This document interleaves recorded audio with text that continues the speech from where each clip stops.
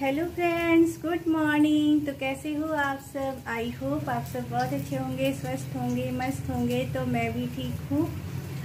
और सुबह का सारा काम हो चुका है और अभी मैं बना रही हूँ लंच तो लंच में मैं बना रही हूँ आज बैगन का भाजा बना रही हूँ और चावल दाल है। तो बैगन का भाजा और चावल दाल रहेगा आज लंच में। तो बने रहिएगा मेरे वीडियो में। तो यहाँ बन रहा मेरा बैगन का भाजा, जो कि मेरे दोनों बच्चों का बहुत फेवरेट है। तो बच्चे हैं तो बच्चों का ही फेवरेट अधिकतर बनता है, बड़ा तो कोई है नहीं कि जिनका फेवरेट बने।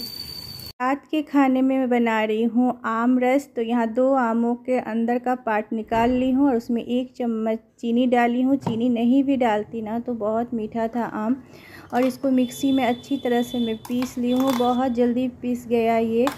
और इसमें मैं डालूँगी दो तीन चम्मच के लगभग, ज़्यादा नहीं, बस थोड़ा सा दूध डालूँगी और इसको डाल के अच्छी तरह से मिला लेना है।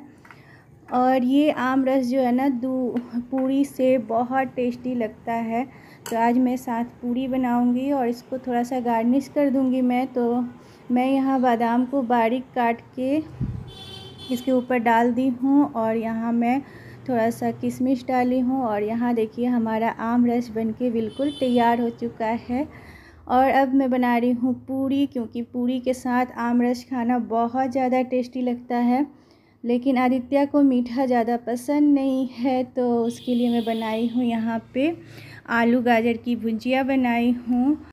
तो रात का बज चुका है साढ़े नौ और अब हम लोग जाएँगे खाना खाने। तो खाने में है आम रस, पूरी और आलू गाजर का भुजिया। तो आपको हमारा ये थाली कैसा लगा कमेंट करके ज़रूर बताइएगा।